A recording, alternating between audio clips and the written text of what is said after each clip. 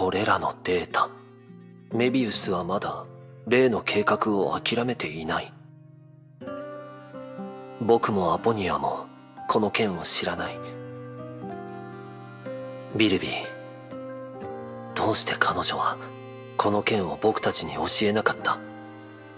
彼女らしくない？いや一つだけ例外がある。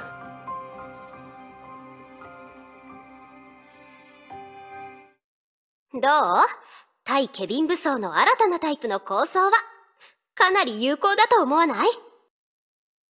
名前も考えておいたんだ。666絶対に簡単で覚えやすいでしょ？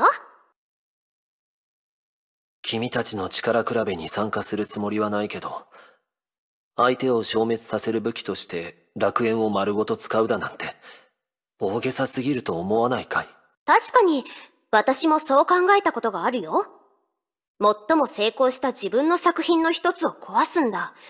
惜しまずにいられない。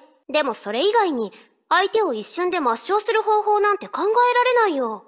私の相手はこのケビンなんだから。君も何か言ってみたら？ね？これは君のために特別に考えた道具なんだから。コメントとかはないの？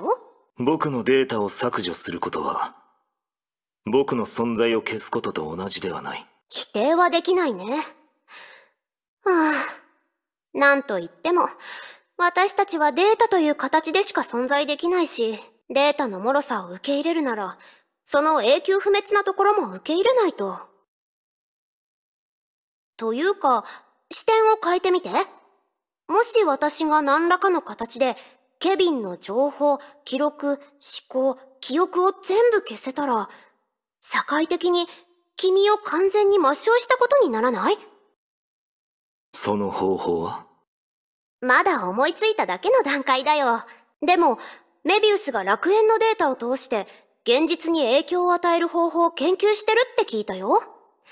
原理はそう変わらないし彼女が実現させたらそのまま使ってもいいでしょ？メビウスを警戒してくれ。あ。そして君は方法を見つけたら何でもやってみるといい。じゃあ楽しみにしてるよ。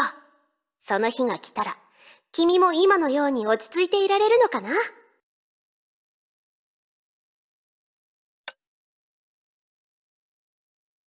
しかしなぜ？